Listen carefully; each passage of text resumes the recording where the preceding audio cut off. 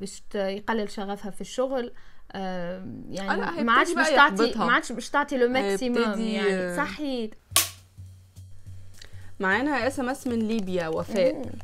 وفاء بتقول إن هو كان فخور بيها قبل الجواز وبيساعدها إن هي تنجح في شغلها وبيقف جنبها كتير. وبعد الجواز قرر إن هي لازم تسيب الشغل علشان تتفرغ لبيتها. مم، دار عليها بالظبط تصور هيدي آه. نساء إن برشا نساء يتعرضوا لحاجات. كيما هكا مم. مم.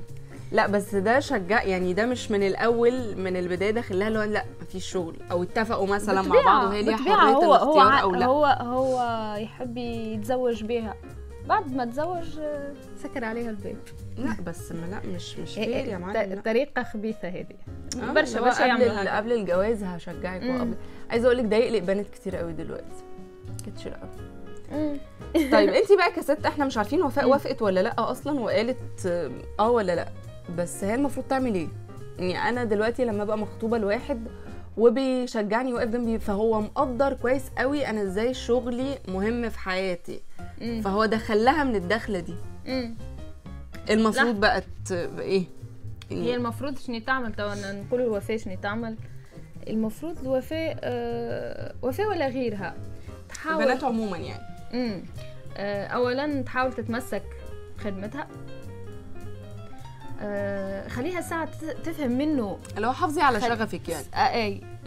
خليها ساعة تفهم منه شنو اللي خلاه سبب اللي خلاه يقولها وقف شغل. بالظبط طالما مم. طالما الراجل كان كويس وتمام. معانا قبل الجواز آه. ممكن يبقى حاجة تانية غير إن هو مثلا اتخابس أو يعني مم.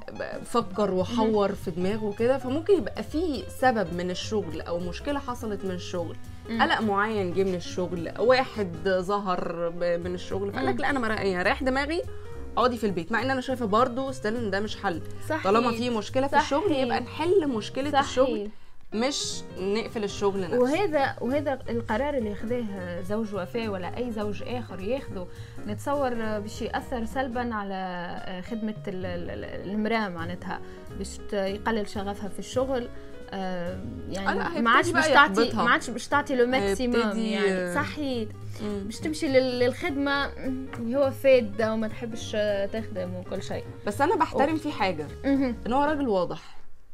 يعني لا هو ما آه، كانش هو- واضح لا حلول. فين الوضوح يا روان بعد ما اتجوزها هو راجل واضح هو لو ستيل خبيث هو لو خبيث لا هي هيبتدي هي اسمعني في اسمعني الوضوح ضمنيا يكون قبل ما يقول لها سيبي الشغل بس هو جابها لها من الآخر سيبي الشغل لا هو هو هو الوضوح يكون قبل الزواج المفروض ممكن أكيد حاجة هو. فاجئها هكا ينجم يكون. قبل الزواج يقول لها اسمعني انت كمل إخدم توا ومن بعد راهو بعد الزواج إحنا باش نوقفوا الخدمة وقتها هي تعرف مم. تعرف شنو مقابلها اسكو باش تكمل معاه والا باش تبطل وقتها يعني نحكيو على برضه ممكن اما لهنا فما تعليب و ممكن تبقى تيجي من حتة إن إحنا. لما بنخاف نخسر حد أو بنخاف نخسر حاجة يعني ممكن يبقى بيحبها جدا بس وعارف جدا إنه لو قال لها سيب الشغل. هتبعد فاستذئب بقى ودار الموضوع وخباه وعمل فيها من طنطا وجاي يومين ومروح.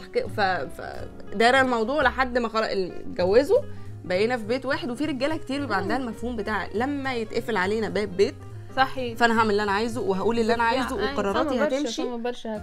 وهذا تعليب وغدر وغدر. الحقيقة أما فما برشا فما أمهات ينظروا لها آه، اللي خدمة خدمة المرأة أساسية ومهمة هو دي الأم استقلال مادي اللي بتشجعك دايما. صحيح. آه. هو استقلال مادي لل- للمراه في حد ذاتها هو إثبات لذاتها في المجتمع اللي هي جات عندها رسالة.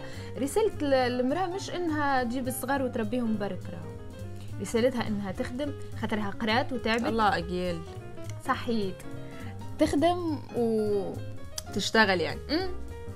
دونك. لا وفي أمهات تانية بتبقى شايفة إن رسالتك في الدنيا ولادك زي ما انت كنتي رسالتي فانت عندك ولادك رسالتك اقعدي في البيت تفرغي لهم ربيهم آه، اهتمي بيهم شغفك في الحياة مش مهم المهم مم. شغف ولادك ودي نوعية أمهات بتبتدي بتبقى أول آه، أبواب الضغط اللي بتتفتح على ال- البنت أو على ال- الشخص صح. نفس نفسه يعني مم. تبقى كارثة بقى لو على راجل بس مش موضوعنا ده مم. دلوقتي خاطر اللي هي باش تقول يعني نردها من من راجلي ولا من ماما ولا وبيبقى عندها وجهة نظر أوقات اللي هو اقعدي مم. هيستتك اقعدي طالما هو اللي قعدك من الشغل فيديكي مصروفك وتاخديه براحتك وانت هانم كده سامحني قاعدة وهي ال- ال- المراه قبل ما تبطل الراجل باش يعني قبل ما تبطل من الشغل باش يكرهها في الخدمة ما عادش باش يدعمها كما قبل ما عادش باش. يسأل على خدمتها باش يتفه أي حاجة هي تعملها باش ينقدها على أي حاجة.